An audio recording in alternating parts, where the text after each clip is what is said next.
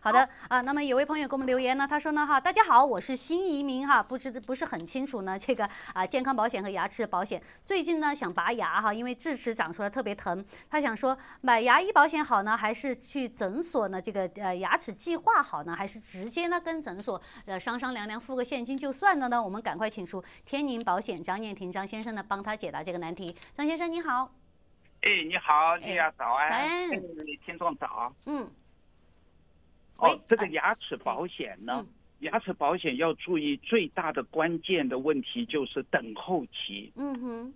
因为呢，你个人的牙保、个人家庭的牙保呢，要看你的病况呢，嗯哼。他要你等。保险公司说你投保了，不是每个月在付保费吗？嗯哼。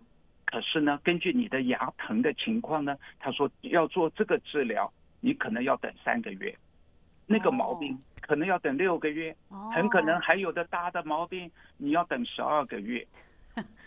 那你要不要等？因为这个呢，跟我们亚裔的、我们亚洲人的思维逻辑有点冲突。是的，是的因为我们认为说，我每个月都在付付保费，你怎么不让我做治疗？你要我等，嗯，哒哒哒，当然开始骂人了嘛。嗯对不对？那这个都是硬规定，嗯没得讨论的。嗯因为牙保你要知道，它每个月的保费很低廉。嗯哼那你做一个八百九百的治疗，嗯你做完了以后两个月，你总共付了三个月的保费，你就把保险取消了，因为你牙病治好了嘛。嗯哎，你把牙疼的毛病治好了，你说我我还继续保干嘛？我傻了。嗯那你把它取消了，那保险公司前后只收到你三个月的保费，嗯而他付出去的是可能八百元、九百元，嗯，明白。那保险公司不就亏本了？嗯嗯嗯那嗯保险公司愿意吗？他当然不愿意，所以他叫你等啊。嗯嗯，但是呢，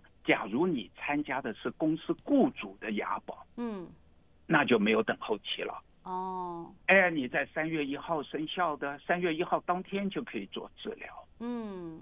所以这个就是最大的差别。哦，好了好了，明白明白。